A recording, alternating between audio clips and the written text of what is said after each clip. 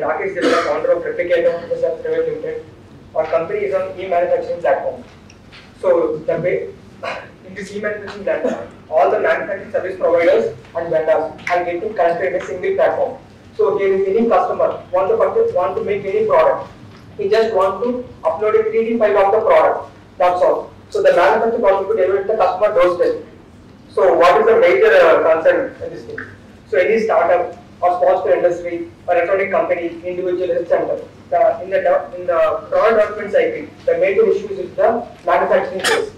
In manufacturing phase, many used to face uh, many problems depending upon the material purchase and uh, uh, machining and to get the delivery. These are the huge hectic process.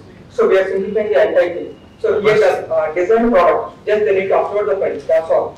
So you can choose the vendor from the listed uh, listed vendors in the platform and the product delivered at the customer doorstep. So till now we are having around 700 plus customers and that uh, 30 plus customers are recurring customers and we are having the average sale of around 1000 INR and we have sold around 15 plus uh, missions and 10 plus workshops have been organized. So revenue model. So the vendors who are going to offer the uh, manufacturing service on the platform, they are going to pay 10% commission on each and every order placed. And we are going to get to ad promotions, monthly subscriptions, and franchisee fee. And a fixed convenience charge, we are going to charge from the customers. And missions and accessory sales.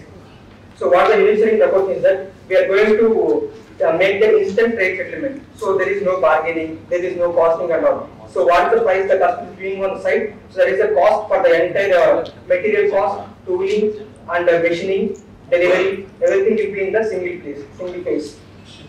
And in this, uh, with the help of this one, uh, new employment opportunities can be generated and the vendors can explore new market. So which they, suppose the person from Punjab can opt a uh, manufacturing service from Bangalore. So this kind of uh, things will explore, uh, enables a new market for the vendors and a franchising model will generate uh, new income. So we are having, uh, we are basically 3D printer research background. We have done 3.5, uh, 2.5 research on 3D printing sector and all those things.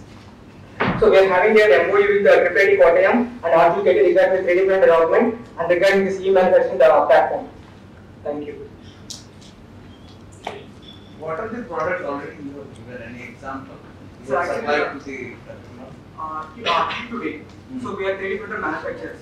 So we have sold uh, missions to uh, IIT and uh, IIT Madras and many of the government institutes and all, AIT and SRM. We have sold our missions and all. We have offered our uh, 3D printing services to many of the companies and uh, centers. We have worked with CSIR, Energy Laboratory in uh, Chennai division regarding our 3D printing services. So after coming, after working for two years of this period, we came to know that customers facing major issue in manufacturing sector. So I have uh, worked with CSIR and they are making a product. It took around six months to develop the from ideation to product. It took them uh, six uh, six months.